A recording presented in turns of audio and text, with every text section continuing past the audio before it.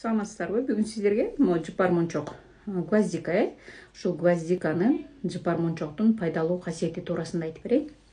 Бул жыпар мончокту илгери энекелерибиз жипке тизип туруп моюндарына тагышчу жаш балдардын бешиктерин кармагычтарына тагышчу э бешик терметкенде алар билишкен да бунда эфирный май бар да. Эфирный май өзү аябай пайдалуу май да эми муну эмне кылышыбыз керек? Муну эртең менен турганда эки жүз грамм жылым суу ичкенибизден кийин бир кайнак сууга салып алышыбыз керек. Себеби бул деле эми канча жерди басып өткөн же болбосо чаң болуп эле коробкаларга салынып калынган да кайнак сууга бир салып алып туруп анан оозго салып тиш менен чайнап чайнап туруп анан ошондон чыккан шилекейди жутушубуз керек. Бул бизге эмне берет?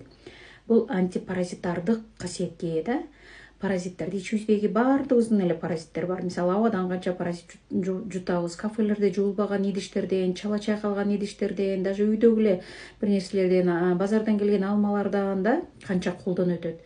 Эми ушуну чайнап чайнап шилекейин жутабыз. Бул бизге эмне берет? Гвоздика бизге антипаразитардык э, касиетти берет. Спазмалгон да мындайча айтканда спазмалический мисалы тиш ооруса же болбосо оозул деп коет го стоматит болуп кетет ооз э.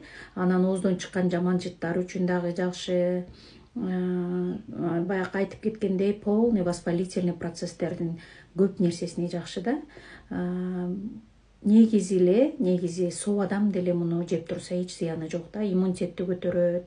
Себеби сиздердин организмиңиздеги кан тазалангандан кийин сөзсүз түрдө иммунитет көтөрүлөт да. Ошон үчүн ушундан күндө эртең менен бирден чайнап анан бир он он беш мүнөт сооруп жүргөндөн кийин түкүрүп койсоңуздар болот. Ушуну он күн кайталап коюңуздар бир төрт беш айда бир жолдон кылсаңыздар болот. Жаш балдарга болсо эки үч гвоздиканы кайнак суу менен куюп туруп бир чайны эме бир пиалага куюп толтуруп куюп туруп бир чайный ложкадан күндө берип турсаңыздар болот кимдерге болбойт ашказан ооругандарга гастриттерге болбойт себеби эми кандайдыр бир себептер менен язвасы бар двенадцать перстный кишкада язвасы барларга болбойт да ошон үчүн кимде гастрит болсо не советую.